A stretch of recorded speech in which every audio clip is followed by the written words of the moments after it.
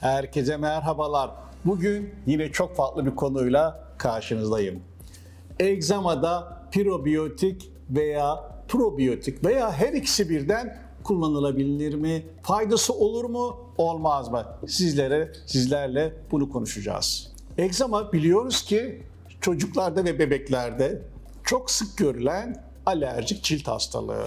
Özellikle cilt bariyerinin bozulması sonucu ciltte kuruma, kaşıntı, boyunda, kulak arkasında, yanaklarda, bebeklerde kızarıklıklarla kendini gösteren, büyüklerde, eklem yerlerinde kaşıntılı kızarıklıklarla kendini gösteren bir durumdur. Probiyotik ise özellikle vücudumuzdaki immün sistemi kuvvetlendiren alerjik hastalıkları engelleme konusunda faydası olabilen mikroorganizmalardır. Prebiyotik ise bu immün sistemimizi kuvvetlendiren probiyotikler için besin kaynağıdır. Bu sebepten dolayı probiyotikler tek başına veya prebiyotiklerle beraber kullanılabilmektedir. Ve birçoğumuz immün sistemimizi kuvvetlendirmek için prebiyotik, probiyotik kullanmaya çalışıyoruz. Peki acaba egzamada faydası var mı?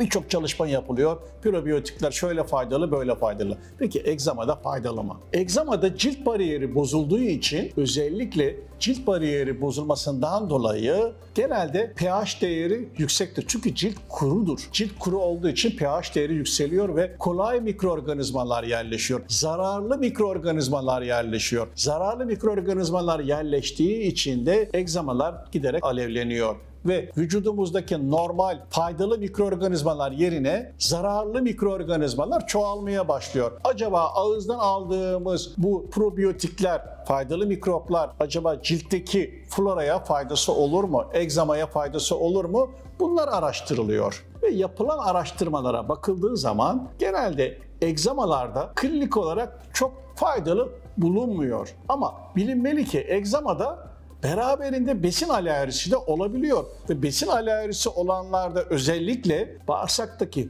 flora değişiyor. Bağırsaktaki floranın değişmesinden dolayı besin alerjisinin olduğu söyleniyor. Özellikle sezeryanla doğan çocuklarda genelde faydalı mikroplardan ziyade ciltte bulunan genelde mikroorganizmalar çocuğun bağırsağında olduğu ve bundan dolayı da sezeryanla doğanlarda daha çok alerjik hastalıklara e, neden olduğu, alerjik hastalıkların ortaya çıktığı bildiriliyor. Bu sebepten dolayı da genellikle alerjik hastalıklardan korunmak için normal doğum yapılması tavsiye ediliyor. Bu probiyotikler de veya prebiyotiklerle beraber kullanılması özellikle besin alerjisi olanlarda faydalı olabilir. Çünkü bağırsak tepkisi olanlarda bir kere bağırsaktaki flora bozuluyor. Ağızdan kullandığımız bu probiyotikler de bağırsaklardaki florayı iyi yönde değiştirebilir.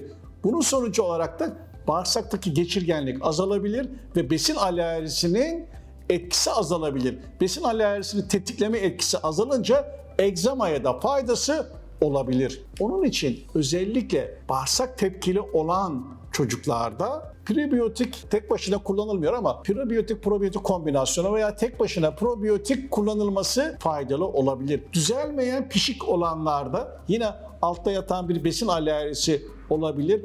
Bu sebepten dolayı bu gibi durumlarda da yine probiyotiklerin veya probiyotikle kombinasyonun kullanılması faydalı olabilir. Sonuç olarak egzamada bağırsak tepkisi bir besin alerjisi yoksa, bağırsak tepkili bir besin alerjisi yoksa, yani kakada sümüklenme, kan yoksa, bunun dışında tedavi cevap vermeyen pişik yoksa, kabızlık yoksa probiyotik kullanmanıza veya probiyotikle kombine kullanmanıza gerek yok. Ama egzamanız var, bağırsak tepkili bir durumunuz var. Yani kakada sümük var, kan var veya düzelmeyen pişik var, kabızlık var, düzelmeyen ishal var veya antibiyotik kullanmışsınız. Ondan dolayı bağırsak florası bozulabilir.